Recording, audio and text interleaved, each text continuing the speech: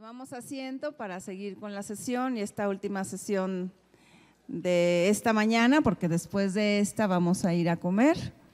Eh, le doy la palabra a la, diputada eh, María del Rosario Vázquez Hernández, diputada de Chiapas también, y que va a ser la moderadora. Bienvenida. Muy buenas tardes. Sí, mi nombre es María del Rosario Vázquez Hernández y yo vengo de Tapachula, Chiapas. Ahora sí. Bueno, pues vamos a presentar aquí a la doctora Ixel Mayams Hermida, estudiante del doctorado en filosofía con especialidad en filosofía política, Facultad de Filosofía y Letras, Instituto de Investigaciones Filosóficas UNAM de la Universidad Princeton, tema de la, de la tesis del doctorado a bordo. Anticoncepción en México, análisis de los argumentos morales y políticos desde una perspectiva de razón política 2010. La doctora Ixel, bienvenida. También.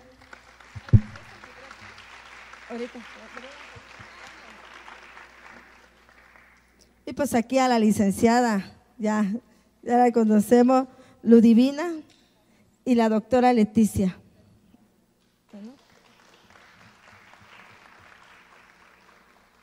Bueno, muy buenas tardes, tengan todos ustedes. Este, quiero agradecer en primer lugar a las organizadoras del evento por haberme invitado a participar, así como pues a todos los asistentes a este, a este simposium. Me parece que es muy importante que en México tengamos espacios de reflexión sobre eh, la condición y la situación de las mujeres, sobre todo porque es un problema muy apremiante el que, como decían desde la mesa anterior, viven las mujeres, sobre todo las que presentan, además de la condición de ser mujer, pues ciertas eh, situaciones de desventaja social muy apremiantes como es su condición de indígenas, su condición este, de mujeres pobres o excluidas en muchos sentidos, ¿no? Entonces, bueno, con ese preámbulo este, quisiera yo empezar, en primer lugar, presentando algunos datos duros acerca de la condición de la mujer en México e internacionalmente, para que quede claro que el problema de la exclusión y de la discriminación de la mujer es un problema serio y además que está sustentado por datos duros y objetivos que tenemos que tomar con seriedad.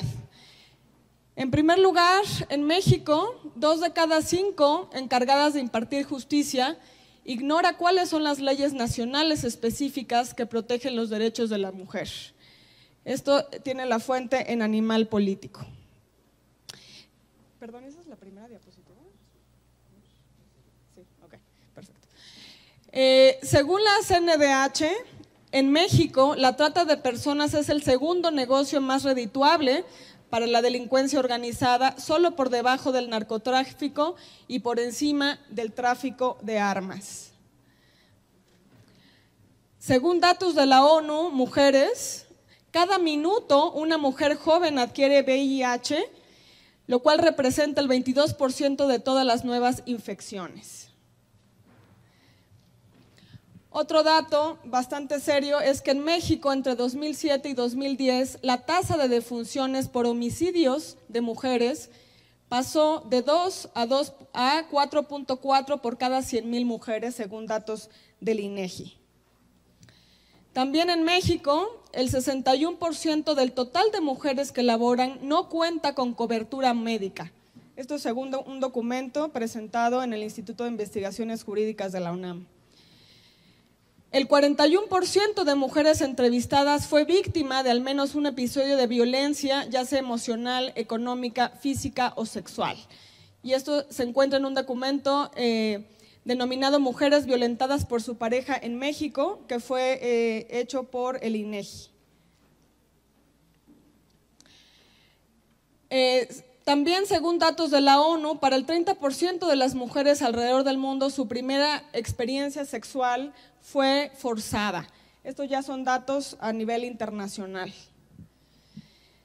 Según la ONU también en Estados Unidos, por ejemplo, que es un país desarrollado en, muchas, este, en muchos sentidos, constituye una aspiración ¿no? de pues, de, regulación de instituciones democráticas y sociales. Sin embargo, el 83% de niñas entre 12 y 16 años han experimentado algún tipo de acoso sexual en escuelas públicas. En Sudáfrica, una mujer es asesinada cada seis horas por su pareja y de 100 a 140 millones de niñas y mujeres han sufrido de mutilación genital y más de 3 millones de niñas corren el riesgo de sufrirlo.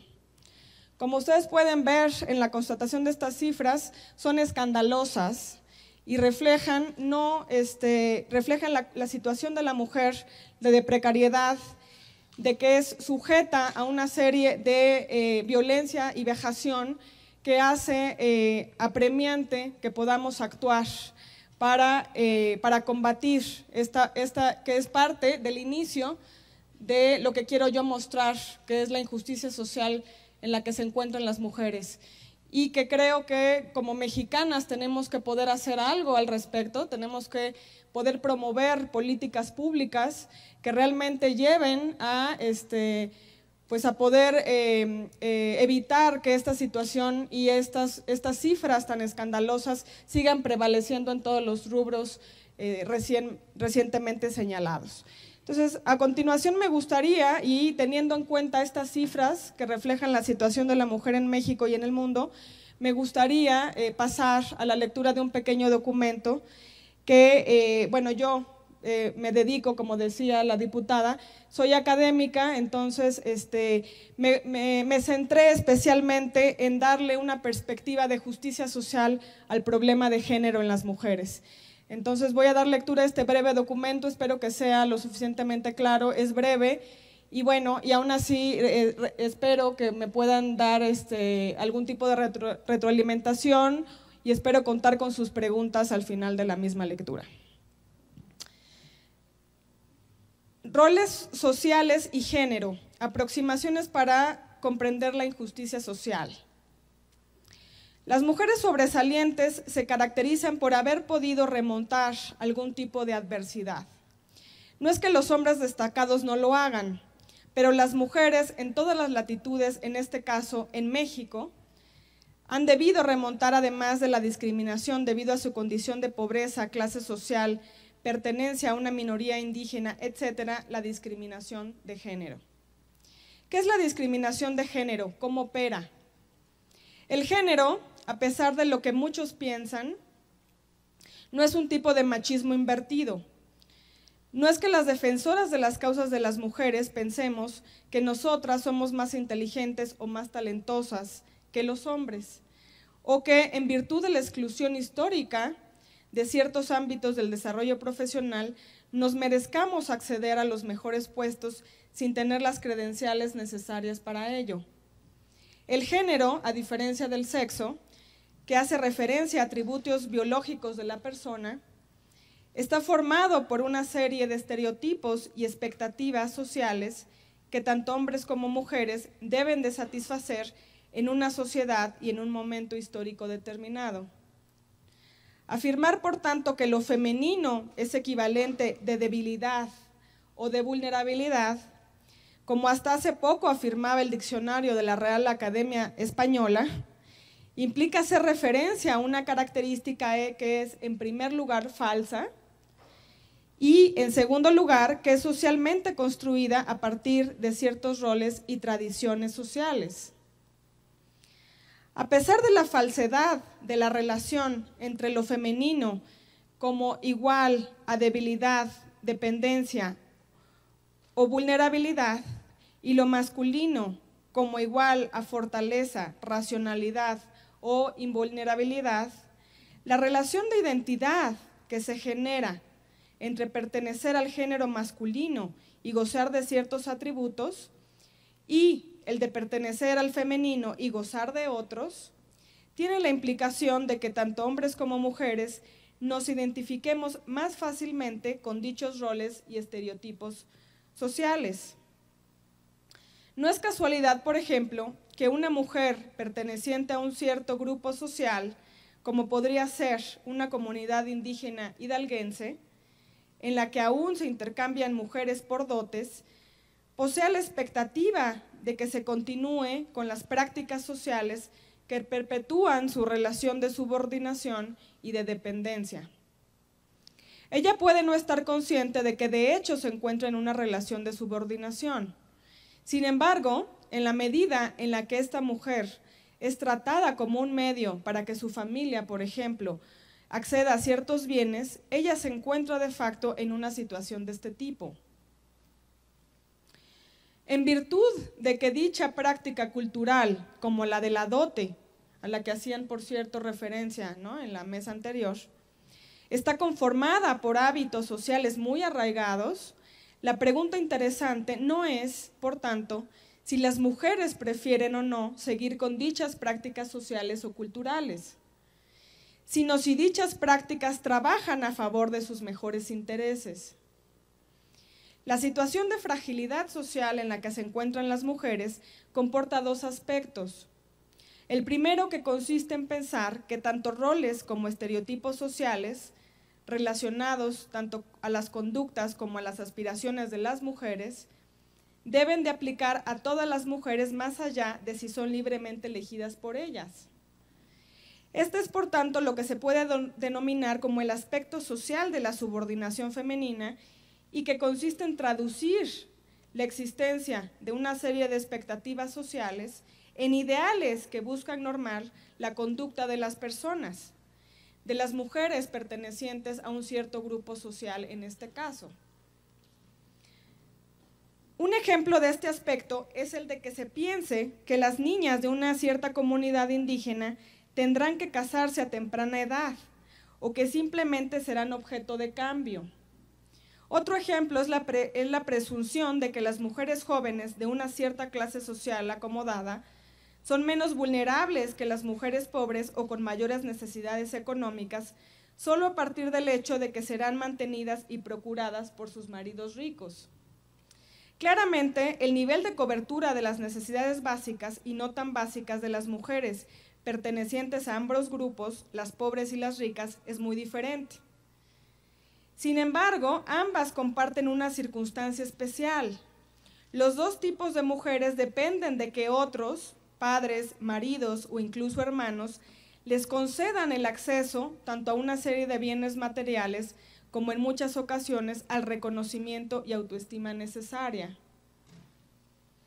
El segundo aspecto de la subordinación de las mujeres es el de la discriminación de género el cual consiste en excluir a las mujeres de ciertos bienes o beneficios, como por ejemplo el acceso a una educación de calidad, estar en igualdad equitativa de oportunidades para participar por ciertos puestos laborales, el acceso a los servicios de salud, la garantía de que nuestros derechos reproductivos son preservados de manera adecuada, etc.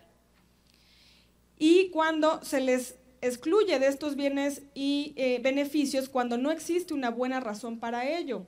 Eso de entrada es eh, lo que define a la discriminación, el hecho de que se haga una diferencia cuando no hay una buena razón de por medio para hacerla. Y en este caso hemos visto que eh, en las cifras que presenté al inicio, que las mujeres en buena medida son excluidas, no nada más de oportunidades como la educación y el reconocimiento social, sino de entrada de, los, eh, de la garantía de que su dignidad corporal no va a ser, no va a ser transgredida. ¿no? Em, entonces, cuando a una mujer, por ejemplo, se le excluye de su puesto de trabajo solo en virtud de que es mujer, y ello puede ser sinónimo de que, por ejemplo, uno eventualmente se embarazará con los costos que ello representa para el empleador. Dos, tendrá que tomar decisiones personales o íntimas en las que otra persona, el marido, por ejemplo, posee mucha injerencia. O tres, que es dudoso que pueda asumir el, mismo nivel de liderazgo que el de un hombre. Ello lleva, por otro lado, a que la remuneración sea mucho menor, incluso en situaciones de igual nivel de responsabilidad. Podemos decir, entonces, que, eh, todas las expectativas sociales, en tanto que son construidas por la sociedad, son negativas por definición, ¿no? Porque esa puede ser una pregunta que ustedes me hagan.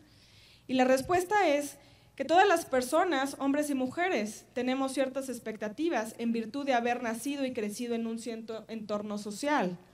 Esto es inevitable. El deseo de asistir a la escuela, el tener un trabajo útil y que desarrolle nuestras capacidades, el aspirar a tener un grado académico, el desear casarnos, tener hijos, etcétera, todas, sin excepción, son expectativas mediadas por una sociedad. Muchas de estas expectativas o aspiraciones conforman parte de nuestra concepción de lo que es bueno en la vida y por tanto tiene sentido que tengamos el deseo de promoverlas como fines deseables. Parte de lo que es bueno de estas metas es que forman planes de vida que son realmente útiles y valiosos, tanto para la persona que los elige como para la sociedad que los promueve. Sin embargo, y en contraste con estos planes de vida, que si son elegidos de manera libre y voluntaria, realmente constituyen fines personales valiosos, hay otros que pueden ser opresivos si en primer lugar la mujer no los elige libremente o si en segundo lugar la coloca en una situación de dependencia severa que, la lleve a no ser realmente dueña de su vida. No ser dueña de su vida en este contexto implica que ante cualquier problema o adversidad que tenga que voltear hacia otras personas para poder resolver la situación en la que se encuentra, careciendo de los medios y, herramientas, tanto materiales como emocionales, para poder enfrentarlos por ella misma. Un ejemplo de esta vulnerabilidad y dependencia es el de las mujeres que se encuentran en matrimonios disfuncionales en donde son víctimas de violencia. Muchas mujeres en estas situaciones no abandonan estos matrimonios debido tanto a la presión psicológica a la que están sujetas como a la incapacidad para valerse por ellas mismas de manera satisfactoria. El problema de dependencia y vulnerabilidad de las mujeres se torna evidente cuando vemos que hay muchas mujeres mexicanas que se encuentran en la misma situación de dependencia. En referencia al aspecto formal y legal que se cristaliza en la discriminación de género a la que me he referido, podemos decir que este está relacionado con la manera en la que se generan las expectativas sociales de las que hablé antes. Sin embargo, la discriminación se refiere de forma concreta al contenido que adquieren los derechos de las mujeres.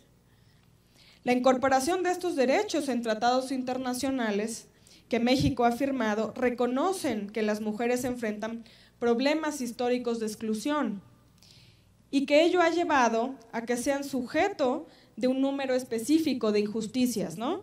Aquí se podrá decir que los hombres, bueno, indígenas, como, como decían hace un momento, también son sujetos de exclusión y de injusticia social, ¿no?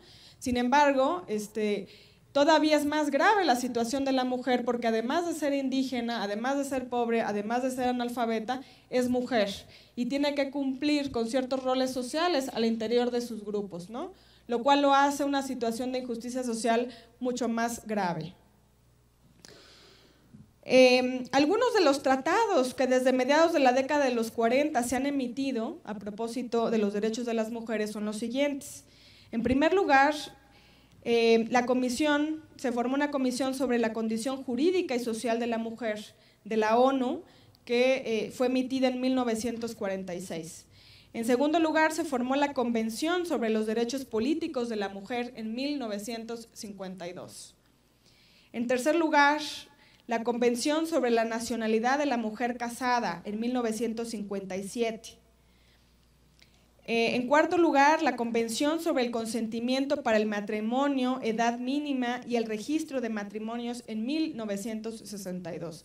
Es decir, desde el 62 hay una convención sobre el estatuto libre que debe de tener el matrimonio y después de varias décadas seguimos constatando que en muchas regiones del país el matrimonio no es libre, ¿no? ni para el ingreso ni para la salida.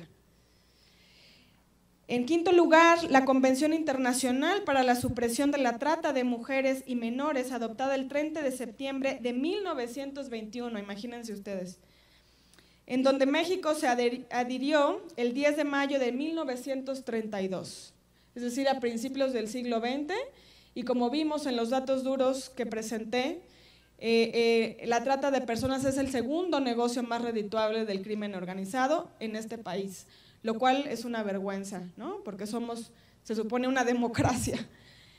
Entonces, bueno.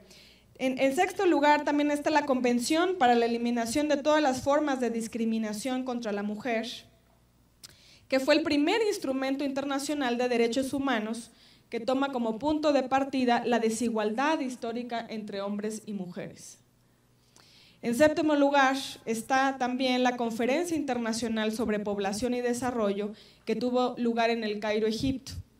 En esta conferencia se reconocen los derechos reproductivos como derechos humanos y se ve a la violencia de género como un obstáculo para la salud sexual y reproductiva de las mujeres.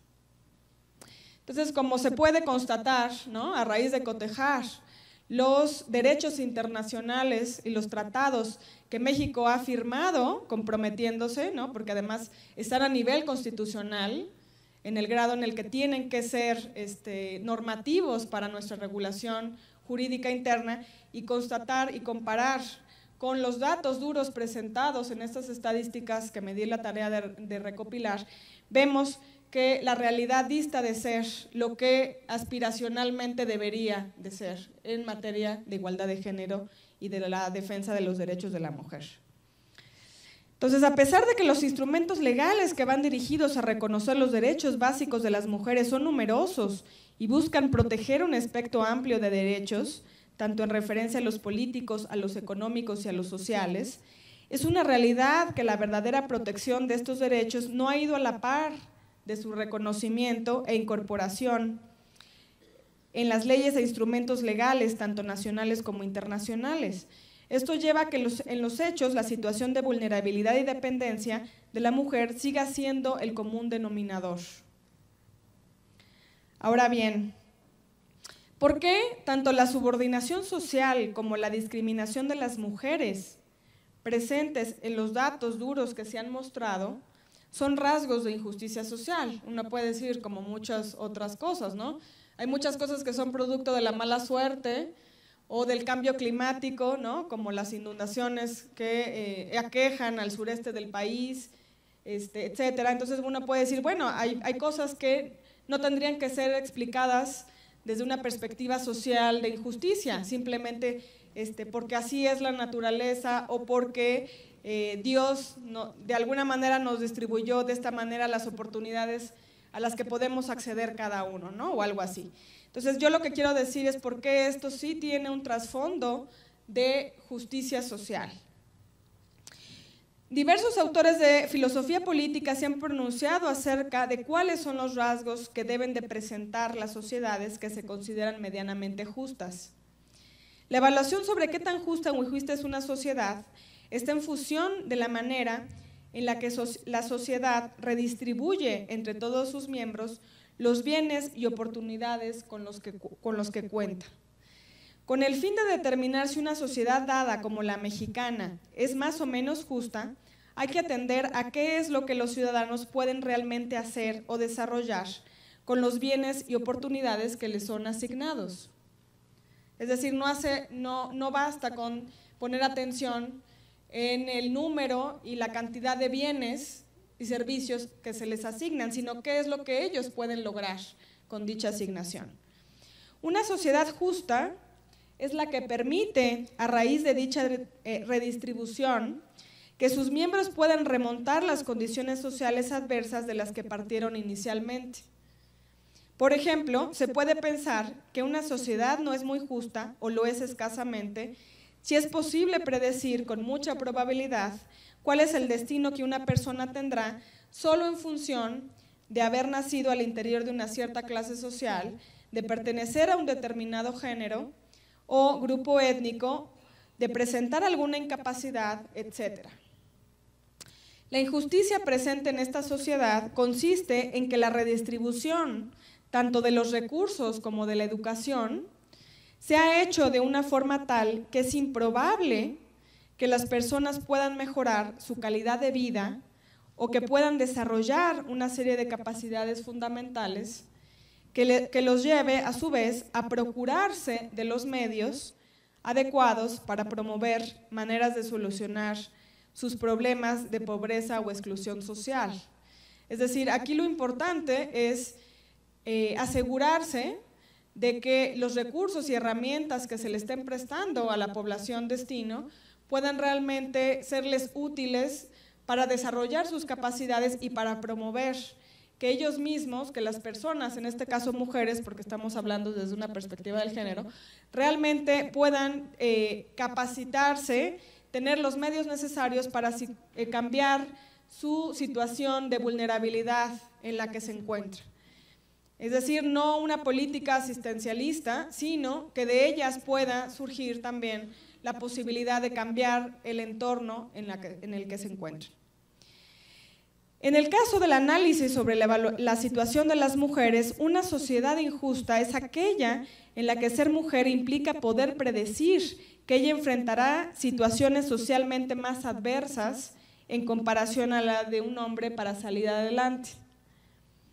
A una mujer nacida en la Sierra de Chiapas o de Guerrero y que ha tenido que luchar por conseguir el número de calorías necesarias para alimentar de forma deficiente a sus cinco hijos, es improbable que se le ocurra, ya no digamos estudiar una licenciatura, sino ni siquiera utilizar métodos de anticoncepción con la finalidad de reducir el número de, los miembros de su familia.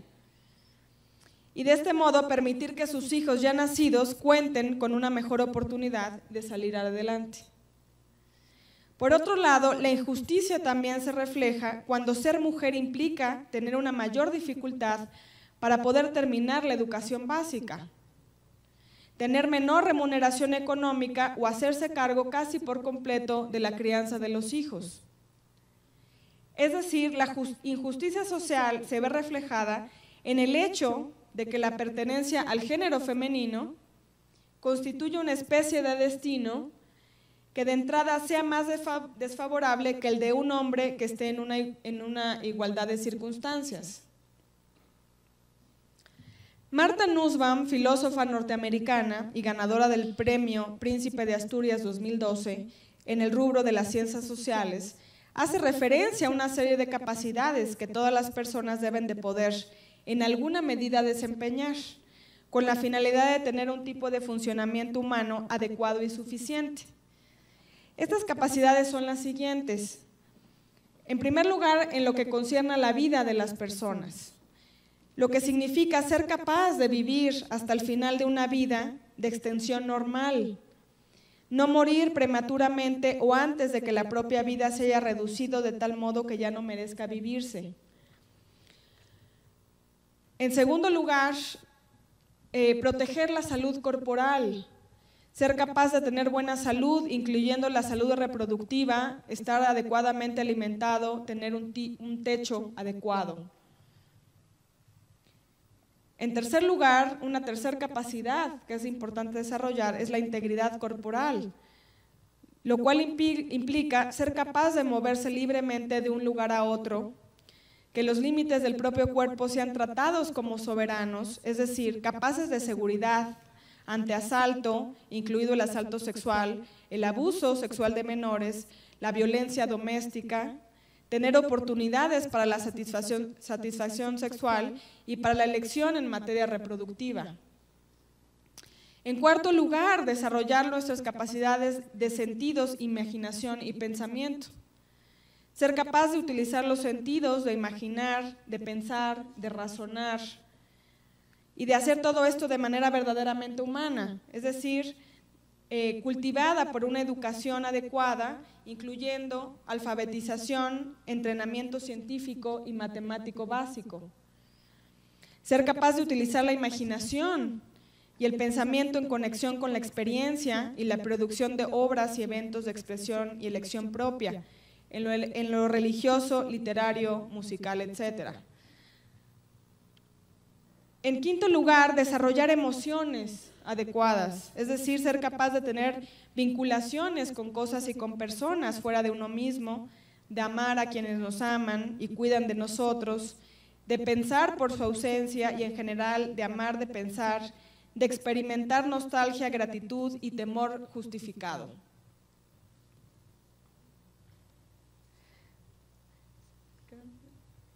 A ver, em, razón práctica también poder desarrollar un tipo de reflexión crítica acerca del planteamiento de la propia vida. Y en séptimo lugar, también afilación, es decir, ser capaz de vivir con otros y hacia otros, de reconocer y mostrar preocupación por otros seres humanos, de comprometerse en diferentes maneras de interacción social y en participación política necesaria para promover los propios intereses. En segundo lugar, también relacionado con la afiliación, poseer las bases sociales del respeto hacia uno mismo, es decir, no sufrir humillación, ser capaz de ser tratado como un ser digno cuyo valor es igual al de todos. Esto implica, como decíamos, protección contra la discriminación basada en la raza, el sexo, la orientación sexual, la religión. También implica poder eh, ser capaz de reír, jugar, disfrutar de las actividades recreativas, como la capacidad de juego. Y en último lugar, capacidad de control sobre el propio entorno, ¿no? que aquí implica desarrollar capacidades políticas, es decir, participar efectivamente en elecciones políticas que gobiernen la propia vida, poder organizarse con otras, otras personas del mismo grupo social, para, eh, para promover los propios intereses de manera satisfactoria y también en relación al aspecto material, ser capaz de tener propiedad, tener derecho a buscar empleo sobre una base de igualdad con otras personas. Bueno, me, dijeron que ya falta poco para concluir, pensé que tenía un poco más de tiempo, pero este, em, me gustaría decir en relación a este tema de las capacidades, que eh, una, parte importante del componente de las capacidades es la capacidad interna que tenemos todas las personas para ser personas eh, dignas que puedan desarrollar capacidades como las del habla, las de, eh, las de decidir libremente el número y espaciamiento de nuestros hijos, como es algo que tenemos derecho a decidir las mujeres. Y hay una serie de condiciones externas que son las que la sociedad obstaculiza para que nosotros podamos conseguir. Entonces, hay un tipo de capacidades dentro de estas que mencioné que son capacidades internas y otras que son capacidades externas, que por más que uno quiera, por ejemplo, decidir el número de sus hijos, si uno no tiene acceso a los medios de anticoncepción necesarios para hacerlo, pues aunque uno quiera hacerlo o se lo proponga hacer, difícilmente tendrá los medios necesarios para lograrlo. Entonces, por eso la sociedad tiene que estar muy pendiente de cuáles son estas capacidades que se puede pensar que son muy exigentes, ¿no? En qué universo, ¿no? Encontramos, por ejemplo, que se promueva el razonamiento crítico, que se dé una adecuada atención a la música, a la, lectura, por ejemplo, de literatura, etcétera, como, como planes de estudio. Y sin embargo, realmente lo que nos dice esta autora desde, su propuesta de las capacidades que tenemos que desarrollar es precisamente que estas capacidades son necesarias en alguna medida para nuestro, desarrollo como personas realmente humanas, que tenemos este, una serie de capacidades, una serie de potenciales que podemos desarrollar si son promovidas de manera adecuada. ¿no? Entonces, por eso la sociedad sí interviene de manera decisiva en la formación de la persona a la que somos y, que, y define en muy buena medida los objetivos, tanto que nos podemos trazar como las probabilidades con las que podemos conseguir esos objetivos trazados. Entonces, bueno, ya para terminar, este, parece, por ejemplo, que iba yo a comentar que un ejemplo de, de, de injusticia social relacionado con estas capacidades es precisamente eh, implica, por ejemplo, que muchas niñas y niños eh, que poseen capacidades intelectuales destacadas, como es el caso de Paula Noyola, ganadora de la prueba enlace, no cuenten con los instrumentos y la infraestructura necesaria para desarrollar dichos talentos. En el caso de Paola, ella puede gozar de todas las capacidades internas para desarrollar sus destrezas. Sin embargo, si el Estado no le ofrece bienes y oportunidades reales de calidad, como pueden ser becas, apoyos en programas especiales, etcétera, ella difícilmente logrará traducir sus destrezas y capacidades innatas en resultados concretos que mejoren sus capacidades y calidad de vida. Es decir, no contará con lo que Nussbaum denomina una capacidad combinada para realizar su funcionamiento humano. Muchas gracias.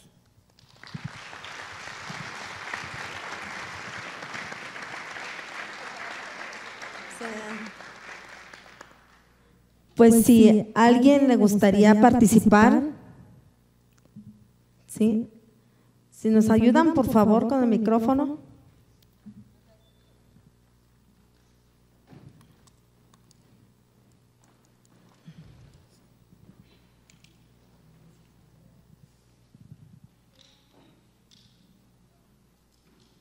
Sí, buenas tardes. Bueno, eh, yo deseaba preguntar, eh, ¿podemos concluir que la sociedad mexicana no es una sociedad justa, según estas características? En la actualidad, ¿hay alguna que pueda considerarse justa o que se acerque lo más posible? ¿Y cuál sería? Excelente pregunta. Eh, es una pregunta, o sea, que la gente que hacemos filosofía política, y digo los principales autores, pues siempre trabajamos desde perspectivas ideales, esto es, de escenarios en los que eh, ninguna sociedad realmente existente cuenta, pero que son aspiraciones regulativas de lo que tenemos que lograr como sociedades individuales, ¿no? O en el caso de la justicia global, que también es un tema que tratan los filósofos de la política. Pero efectivamente, bueno, la sociedad dista de ser una sociedad justa desde la perspectiva que estoy eh, presentando y Estados Unidos, como vemos, tiene muchos problemas de justicia, eh, inclusive respecto de sus mujeres, de sus propias mujeres. Eh, yo diría ¿no? que en este sentido de inclusión de todos los sectores de la sociedad a la participación en la cooperación social, serían pues, los países escandinavos, ¿no? donde todavía existe un estado de bienestar funcional, ¿no?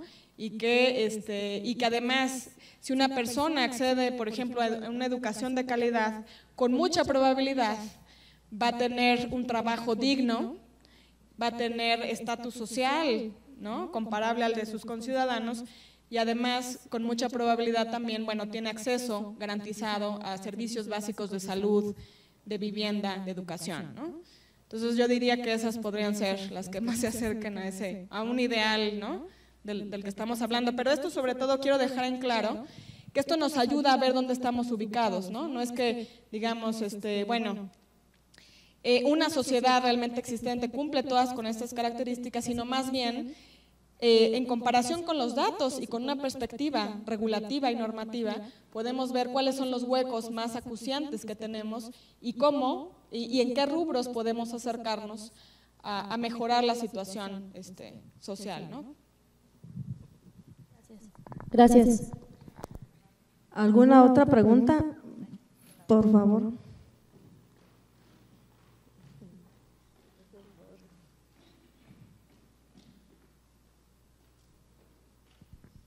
Hola, buenas tardes. Soy Joana del Estado de Guerrero. Partiendo de, lo, de uno de los idealistas políticos, Platón, y definiendo lo que significa justicia o lo que es justo para él. Para él justicia significa dar a quien lo que se merece.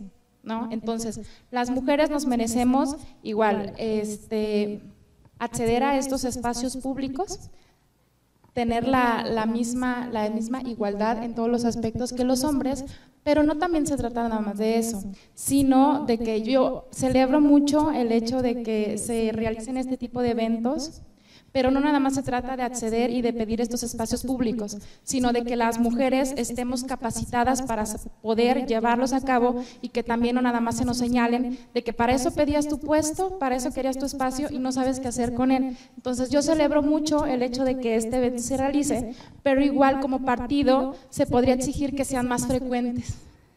¿No? Gracias.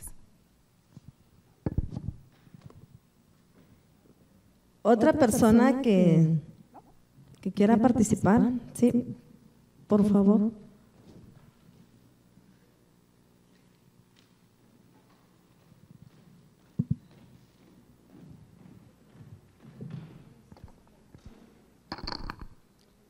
Sí, buenas tardes. Eh, eh, por todo lo que he escuchado de todos los ponentes que hemos tenido el día de hoy, bueno, tengo mis anotaciones, pero me parece importante señalar ahorita que, que estamos en lo de género y justicia social, que me parece entonces que estamos de acuerdo en que la columna vertebral viene de la política pública, eh, que mucha de la injusticia social se deriva de la falta de información y atención adecuada.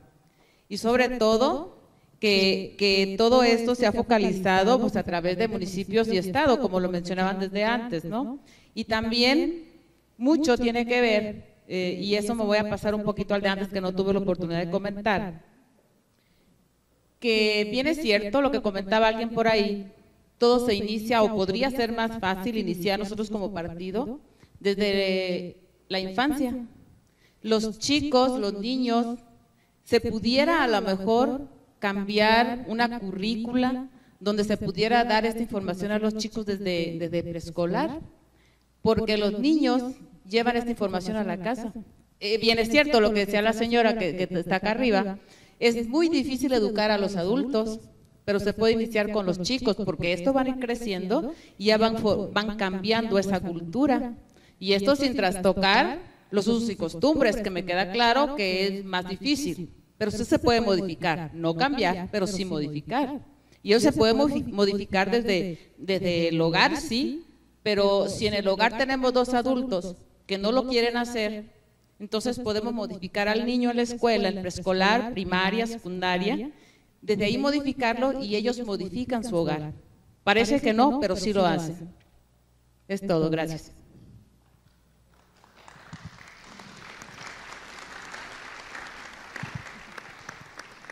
Si alguien de la mesa quisiera participar. gracias.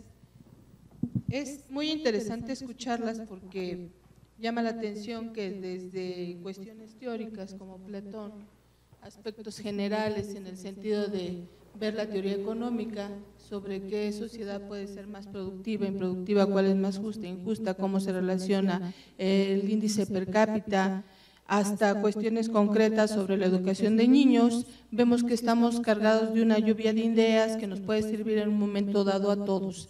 Preguntarse si México es justo o no, tendríamos que valorar primero por qué en México existe el hombre más rico del mundo, Carlos Slim. ¿Por qué hay tanta polaridad social? ¿Por qué, eh, ¿Por qué se afirma esto no solamente en el ámbito económico, sino en el ámbito también judicial? Si ustedes recuerdan la película esta de precinto culpable, resulta ser que en algunos momentos las cuestiones judiciales rayan en aspectos de corrupción y discriminación. En México, muchas veces hay mujeres o hombres encarcelados y no pueden salir no porque no sean inocentes, sino porque no tienen dinero para pagar un, procedimiento adecuado, legal, justo. No existe eso. Estamos en un sistema bastante complicado y entonces ahora resulta ser que además de la pobreza, el pobre también es sujeto de ser culpable por no poder pagar eh, por no pagar su mismo su misma liberación. Recuerdo el caso de hace la, senadora, anterior senadora, Sara Castellanos, presentó un punto de acuerdo precisamente para apoyar a las mujeres presas, porque pues existen múltiples formas de discriminación, pero hay muchas mujeres que se encuentran presas porque robaron para darles de comer a sus hijos. y entonces por delitos menores están ahí y no pueden salir. Y también recuerdo que también hubo un, el caso, por ejemplo, de la explotación de... Hay mujeres de la tercera edad que se tienen que prostituir. Es un fenómeno que va en ascenso eh, en el caso del DF, por ejemplo, del Estado de México, y es muy lamentable que por 20 pesos una mujer para, para subsistir, porque no le queda más, otra cosa más que su cuerpo, se tenga que vender, aunque sea una mujer de la tercera edad. Son casos sumamente alarmantes que yo creo que debemos de atender el asunto de la trata en las redes sociales. O sea, este, cada vez existe esto de Facebook, Twitter, em, todas las redes sociales que tenemos tienen sus aspectos positivos, pero también tienen sus aspectos negativos y no se han regulado adecuadamente. Y eso es muy importante porque si ustedes saben, hace como tres semanas una chica se suicidó de, de Veracruz y pasaron las fotos por Facebook. Y entonces en lugar de que fuéramos una sociedad más justa, más humana, más condescendiente, más sensible, pues había mucha gente que expresaba burlas este, ante esta muchacha. Dice, ¿a qué grado de descomposición social hemos llegado? Es una cosa verdaderamente alarmante. Veamos el caso de las mal llamadas muertas de Juárez, porque las muertas son todas, las asesinadas en Juárez, que ya no solamente son las llamadas muertas de Juárez, sino tenemos en distintos estados eh, que ya hay una presencia de mujeres que son asesinadas solamente por eso, porque son mujeres. ¿Y cuál justicia social? O sea, preguntémosles a las madres si han recibido justicia social. O sea, ¿dónde está justicia? Eh, eh, todo esto nos lleva a concluir de que creo que es necesario que si existen nuevos mecanismos para incentivar la, justicia, la injusticia, también tendremos, tendremos que hacer mecanismos nosotros para tratar de paliarlo. Es muy importante que empecemos a mover los hilos. Decía la, la, compañera, el asunto de la educación en edad escolar. El problema son las normas. Por ejemplo, el verde tiene mi primer libro de ecología y se pretendía incluir en la SEP, pues la SEP no lo, no lo incluyó porque simplemente era de un partido político. O sea, también en algunos aspectos los partidos políticos se ven discriminados cuando son ideas que verdaderamente buscan aterrizar y atender problemas de la sociedad. Gracias.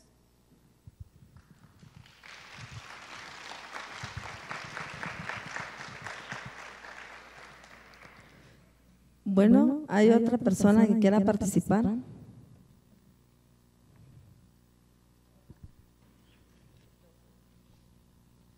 Buenas tardes.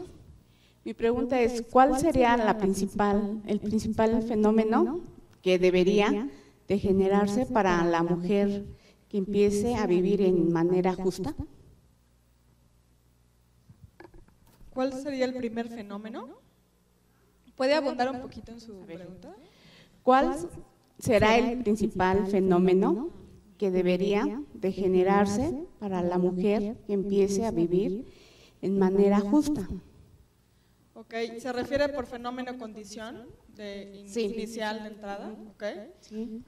Eh, pues yo creo, digo, en buena medida es la educación. Sin embargo, vivir en un entorno familiar en donde esté libre de violencia, por ejemplo, de acoso sexual, porque muchas veces en el núcleo familiar es en donde las mujeres se ven sujetas ¿no? a, los, a, los, primeros casos de, de, acoso por parte de los parientes, etcétera. Entonces, yo creo que parte del entorno social eh, eh, adecuado, donde, la, donde se respete a la mujer desde que es niña, no, eh, no se le acosa sexualmente, eh, y además pueda contar con una educación básica de calidad, me parece que serían las cuestiones fundamentales para que tenga tanto eh, capacidad de desarrollo eh, emocional que es necesario, no solamente el educativo, porque si la mujer ha sido humillada y ha sido además agraviada, en su dignidad corporal, pues este, cómo le podemos pedir luego que también tenga deseos de salir adelante o de educarse para desarrollar otras, este, otras las capacidades que señalaba. Entonces me parece que esas serían este, las condiciones básicas de, justicia, ¿no? Para que pueda desarrollar la capacidad del autorrespeto que señalaba la, la, filósofa que yo citaba y que es fundamental, ¿no? Sin, sin autorrespeto y sin reconocimiento de los demás no vamos a ningún lado, ¿no? Ahondando un poco en lo que comenta la maestra Itzel Mayans sobre este asunto, yo creo que efectivamente la educación es un pilar fundamental, pero no solamente la educación que se da en la escuela. La educación, y hay un dicho, la educación se mama. Y en la casa es donde tenemos que empezar. Porque, por ejemplo, eh, yo no sé si ustedes sepan, pero existe un fenómeno llamado la violencia en el noviazgo. Hay muchos muchachos y muchachas, pero en su mayor parte hay muchachos que golpean a sus novias. ¿Y por qué las golpean? Pues porque las quieren y las pueden y hacen todo esto. Yo creo que desde la casa, nosotros mismos si tenemos hijos o hijas, a cada uno inculcarle sus valores. Ahora, también nos enfrentamos a otro fenómeno social muy importante, que es el asunto de que existen ahora una gran cantidad de jefas de familia. Las familias ya no son las familias que cotidianamente conocíamos este, mamá, papá, hijos. Muchas veces ya las familias son lideradas por las mujeres y tienen que llevar el sustento. Y se ha dado otro fenómeno aunado a este, el asunto de que hoy en día muchos de los hombres, bajo el concepto este de la feminización, dicen, ay, pues hazte cargo tú. Entonces yo no sé cuántas mujeres de aquí que a pesar o a favor de que tengan un marido, pues este, finalmente son las que llevan la carga en la casa. Entonces yo creo que está bien, digo, también estamos pidiendo igualdad de condiciones, tanto en la casa como en la escuela, como en nuestro trabajo, como en la política, en todo, pero debemos ir sembrando las semillas nosotros mismos, germinar ahí con nuestros hijos y con los que están en nuestros entornos, como bien decía la señora, ¿no? Gracias. Bueno, a mí me gustaría participar y comentarles también, ya que Dios nos ha dado la oportunidad a muchas estar, este, pues ahora sí representando a nuestro Estado. Es importante también que el gobierno, hay que exigirle que se incluyan mucho más. Yo no quisiera presumir el mío, pero lo tengo que hacer porque la verdad, nuestro gobernador Manuel Velasco Cuello, yo me he topado, ahora es todo lo contrario, que ahora me encuentro con los hombres y dice, dile al gobernador que también nosotros votamos por él. ¿Qué, qué cambio, no? Es un cambio de que hoy me doy cuenta que el gobernador Manuel Velasco ha luchado y sigue peleando y sigue duro a favor de las mujeres. Entonces yo creo que es importante también nosotros exigirle también a nuestros gobiernos, no quedarnos calladas. Yo le decía ese rato que vengo de Tapachula porque soy de allá, ahí en Tapachula, para lograr ser regidor, puro hombre. No era la mujer definitivamente, este, quiero decirles a ustedes que yo orgullosamente les digo que soy comerciante, porque no lo voy a negar. Gracias a Dios me preparé y he sido regidor dos veces. Pero sí me ha tocado luchar y, estando ahí para, a favor de, ahora sí, de nosotras, porque no teníamos ni, ni, ni ahora sí, ni, ni voz, ni, ni de nada. Ahí les, juro así que yo como, como representante de los mercados de allá de Tapachula, nunca, nunca subía una secretaria mujer. Era puro hombre, secretaria general. Y las mujeres únicamente nos, nos tenían para hacer el aseo. Y yo tenía eso que yo decía, no, yo no, yo tengo que estar en el lugar de esa persona que está hablando ahí. Y lo logré, gracias a Dios lo logré. Cuando entro como secretaria general, puse a los hombres a hacer lo que nosotros hacíamos. Ahora a ustedes les toca hacer el aseo, pero les vamos a ayudar. Tampoco fue de venganza, les vamos a ayudar. ¿sí? Pero es importante también que nosotros, este, no solamente yo hace rato escuché con mucha atención a la señora que aquí habló, y de veras, es cierto. No nada más hablar, hay que pelear, hay que luchar. Y le juro que a pesar que allá nuestro gobernador sí nos ama, le exigimos más todavía. Todavía. Estamos exigiéndole más cosas. Antes, ¿dónde iba a ser un regidor?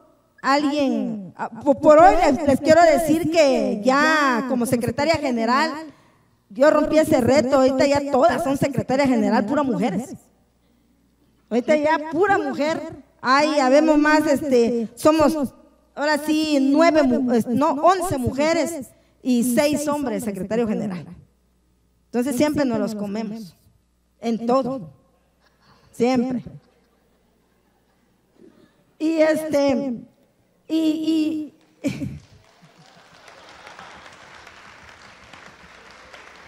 pero también le digo a los hombres que sin, sin ustedes no somos nada. También los queremos mucho. De veras los queremos mucho. Porque también gracias a ustedes nos dan la oportunidad de seguir hasta donde estamos. De veras que es muy difícil para una mujer, porque aunque uno esté aquí, desde está con el teléfono, uno ya comieron, ya comieron. Este, y de veras que sí, sí me gustaría invitar a muchos y a muchas. Hay que seguir con esta lucha porque es muy difícil y es muy duro allá en el estado de Chiapas. De veras que el gobernador le está tocando legislar ahorita o estar en un, en un este, como, como gobernar su pueblo, que se ha sido muy marginado las mujeres, las mujeres. Y este y sí pedirles a todas y a todos que luchemos también y que esto que estos eventos sean más seguidos, de veras que, que nos llamen más seguiditos. Ahora sí, está bonito el hotel, llámenos, llámenos. De veras, invítenos más, porque es importante llevarnos esto, pero también más importante es llevarlo a cabo en nuestro lugar. De veras, es muy importante porque en Tapachula hay mucho machismo todavía. ¿eh? Se lo juro que de veras que sí amo a los hombres, pero que nos quieran un poquito. Y sí es importante que estos eventos nos los sigan invitando, licenciada. Y yo les agradezco mucho, pues también de que me estén escuchando. De veras, muchísimas gracias. Y, y seguir adelante, vamos a seguir, vamos a seguir este, trabajando por nosotras y hasta por ellos también. Gracias.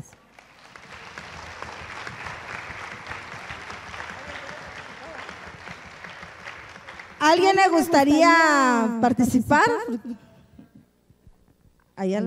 por favor, si nos apoya con el micrófono. Ya se cansó el compañero. ya, ya, ya. Pues yo quisiera comentar a propósito de la intervención de la diputada María del Rocío, que de verdad felicito su, su intervención y sus ganas de trabajar, impulsar y atreverse a ocupar cargos públicos. Precisamente a la ponente, eh, preguntarle que dentro de los impedimentos para que la mujer pueda acceder a cargos eh, públicos, ¿qué lugar ocupa el que la mujer se siente incapaz para acceder a los mismos por la falta de valoración de sí misma? Gracias.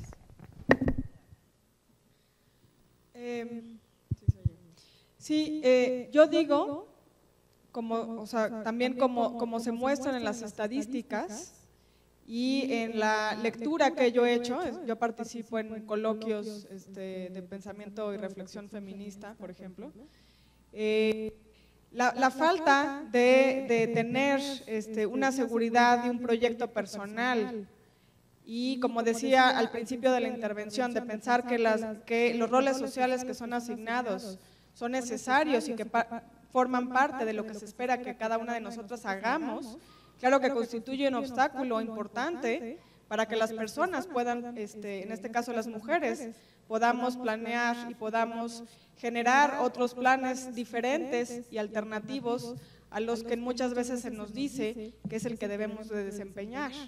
Entonces, afortunadamente la sociedad mexicana, más en, ciertas ciudades donde hay este, eh, pues ya una educación superior y hay una serie de servicios y oportunidades, bueno, ya no estamos como al inicio de la década de los, del, siglo XX, ¿no? En donde eh, realmente para que una mujer llegara a estudiar la universidad era realmente un logro, ¿no?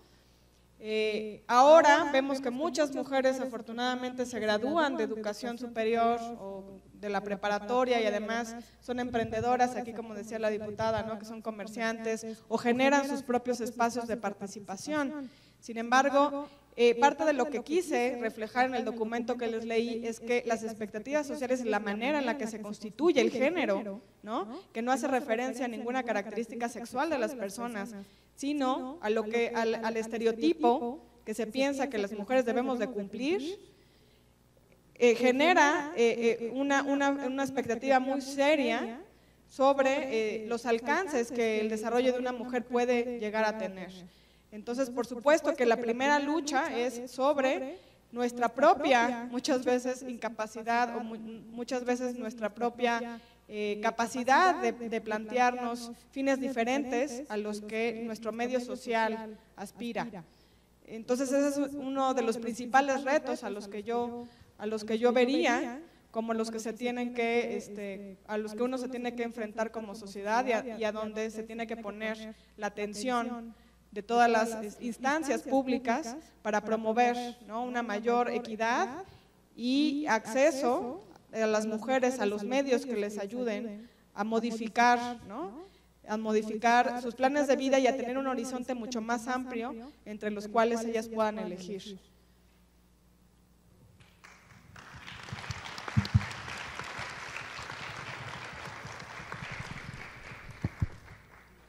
Es la, ahora sí, la última, la, última persona. ¿eh? Disculpen, pero aquí nos, nos están diciendo. Bueno, miren, yo he observado que en todo lo que, en lo que ustedes han expuesto, han logrado muchas metas como mujeres, muchas, pero hablaron de la violencia, hablaron de la madre que mantiene a sus hijos, hablaron de muchas cosas importantes, pero ¿Cuándo vamos a responsabilizar al hombre que a él somos más aptas las mujeres, las que se prostituyen, las que trabajan como sirvientas, las que venden, todas? Entonces nosotros como mujeres siempre vamos a salir adelante del hombre, aunque el hombre debería de ser la cabeza de la mujer. ¿Dónde está?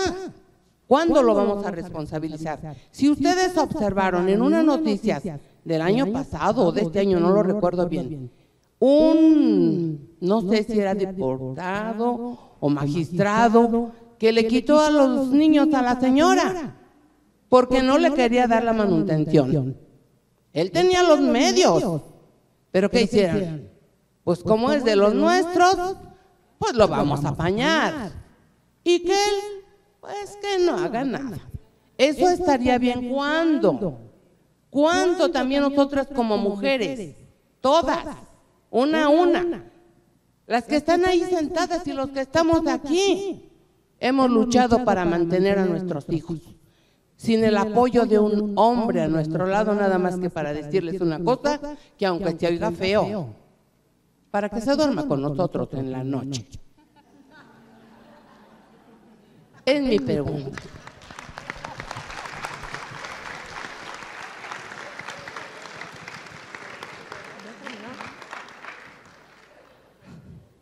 Ah, me gustaría, este, está muy bien lo que dijo la señora. No, yo creo que cuando, hasta cuando nosotros querramos. Porque es muy, a veces también les quiero decir algo. Somos muy miedosas. A veces cuando nos invitan a algo, a participar o es que no podemos, mejor tú al hombre, ¿no? Tú, tú. Hay que aventarnos. Hay que aventarnos. De veras, el miedo siempre lo vamos a tener. Si ahorita yo los pies me tiemblan.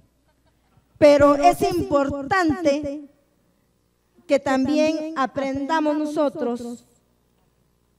Es un reto también para nosotros esto. ¿sí? Porque sí es cierto, ya pues, pues ya ahorita con eso hasta la moda está que ya el hombre ya pide también su pensión. Entonces, es mejor, es mejor que nosotros aprendamos a, este, pues a aventarnos más, a participar más, a ser nosotras mismas más. ¿Sí? Y este, este porque ya no vamos a estar dependiendo por muchas, ahora sí, muchas dependen de un hombre. Gracias a Dios, yo nunca he dependido, pues así, no, no. Gracias a Dios, porque de la edad de, de, ahora sí, ahí sí le agradezco mucho a mi mamá que a la edad de cinco años me llevó al mercado a trabajar. Y desde esa edad hasta ahorita yo sigo trabajando y le juro así que yo le compro sus cosas, pero a mí a las horas tres trabajar y es aventarnos. De veras, yo les agradezco mucho. Va a haber otra participación de una más me están diciendo, ya se puso bien bueno esto. Ya se puso bien bueno. Bueno, pues vamos aquí, la compañera, por favor. Ahora sí se ve bien bonito los hombres que pasen el micrófono. Un aplauso a los hombres también. Gracias. Sí, buenas tardes tengan todas ustedes. Es muy bonito escucharle a todas y la verdad, este, todas opinamos, todas decimos y mi respeto para todas ustedes, para todas las que estamos aquí. Pero hay un factor que creo que ustedes no me van a dejar mentir. Este, no nada más nosotras somos víctimas de violencia. Hay hombres que también son víctimas de nosotras mismas. Y eso que quede muy claro en algunas de nosotras hay, hay hombres que me decía un compañero,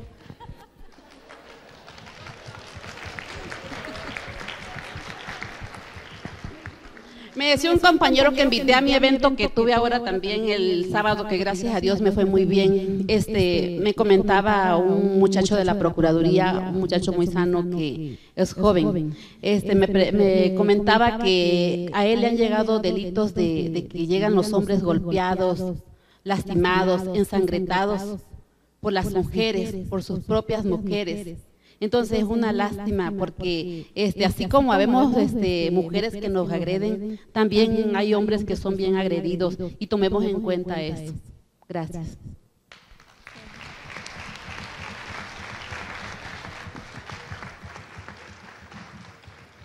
Pues muchas gracias por todas las participaciones. Este, ¿quién quiere más? A ver, Malena. Ya para concluir, qué bueno que nos den la oportunidad, no haya violencia en la participación. Eh, la verdad, este, en la igualdad que se quiere entre hombres y mujeres, pues han cambiado muchas cosas.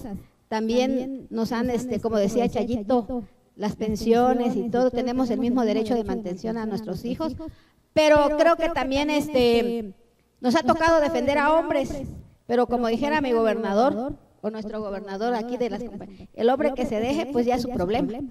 Hay los, hay los derechos de, de la Procuraduría de la Defensa de las Mujeres, pero también, también este, las mujeres, hay mujeres que, que nos dejamos. Yo quiero este, hacer un reconocimiento para todas las mujeres y los hombres que, se, que nos dimos la oportunidad de estar aquí este día, porque muchas veces no tenemos esa, ese valor de que salgamos de la casa, que dejamos a los hijos, que dejamos a la familia, tanto hombres como mujeres. También hay represiones en hombres que no los dejan salir como en mujeres. Pero es lo que dice Chayito, es muy cierto que a pesar de todo, este, de todas las, se imaginan en Chiapas, este, que Chayito haya salido adelante con su familia, con la educación de, su, de su mamá y tener también pues al lado a su esposo con ella, porque muchas veces no nos apoyan los esposos en la política. Pero a pesar de las adversidades que nos da la vida, tenemos que tener el valor porque muchas mujeres, aunque somos profesionistas y yo me pongo en ese lugar, si de un inicio yo soy maestra, yo tuve, este, la verdad, en mi primer matrimonio, eh, eh, no, no esa represión, sino que uno lo permite y nos demos la oportunidad de, salir adelante eh, solas o con una pareja. Creo que nosotros podemos, como dice Chayito, te felicito Chayito por todo ese valor. tenías que ser chiapaneca también, no agraviando también a todos los estados, pero este, los, todas las mujeres también este, de otros estados, pues hay muchos valores en todo, como hombres y mujeres. Y yo siempre he dicho como Chayito, Los hombres no estamos peleados con la igualdad de género, porque las feministas, algunas muy, tal vez muy radicales, pero los hombres nos han ayudado si no fuera por los votos de ellos, porque son mayoría, pues también no, no tuviéramos en las, en las cámaras los, este, los, el apoyo de, y en los partidos y en las organizaciones, el apoyo de, de, la igualdad de los espacios, como lo tenemos, como ahora nuestro presidente de la República con su iniciativa que ya pasó y que esperemos pasen en todos los estados. Vamos a seguir adelante. y lo que tenemos que tener es el valor, el valor de salir adelante, porque si nosotros lo queremos, sí podemos. Yo quiero agradecer a nuestro partido este, el darnos esta oportunidad de, y las compañeras que están organizando este, este evento, darnos la oportunidad de tener muchos más y venir así como estamos. Celebro que estén hombres con nosotros y este, felicidades y sigamos adelante con nuestro partido, nuestro partido verde ecologista de México. Muchas gracias.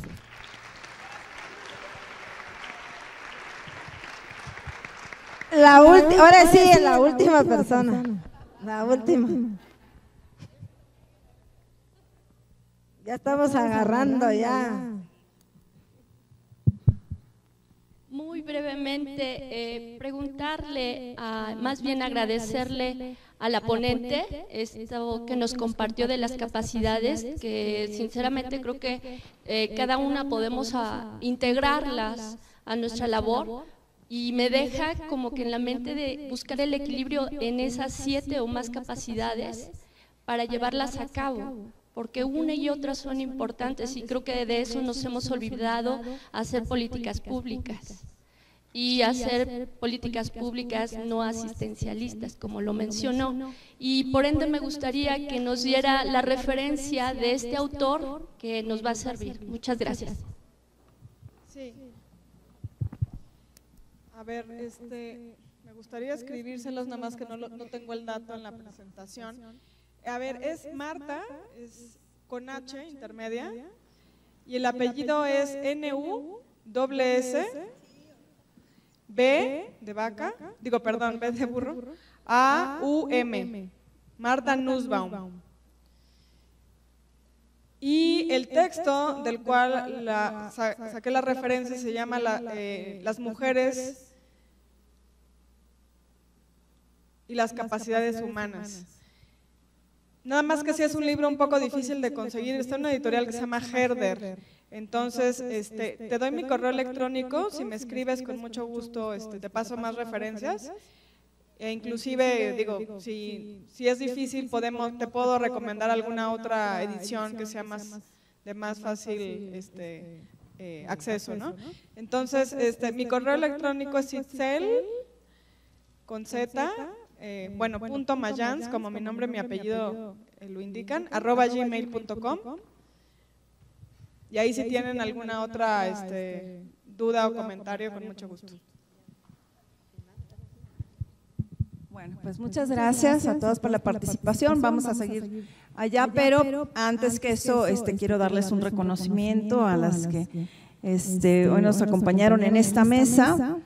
Y, y también, antes, eh, darle, también reconocer que, que, nos acompaña hoy el licenciado Jonathan Sanata González, dirigente estatal del Partido Verde en Morelia, Michoacán. Es uno de los dirigentes que me hubiera gustado que todos los demás vinieran, pero gracias, te reconozco de verdad este, la participación y que estés hoy con nosotros. Y bueno, A la maestra Itzel Mayans este reconocimiento por su participación en este simposio La Mujer, la Política y el Poder. Y que bueno, nos vamos muy satisfechos y que qué bueno que nos dices tu correo a todas para que podamos seguir en contacto y este y en nuestros talleres poder seguir eh, dando a conocer esto, pero también pues para que le invitemos a los estados a que también nos dé ponencias y talleres. Muchas gracias, Itzel. Felicidades.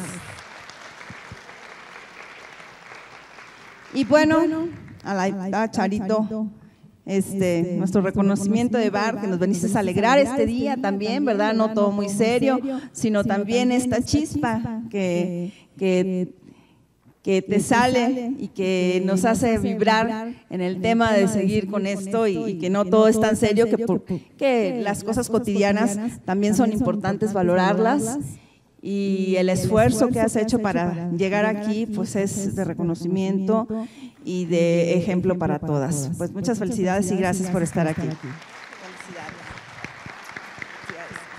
Pues bueno, pues seguimos, nos vemos al ratito, vámonos todos a comer, a convivir. Gracias.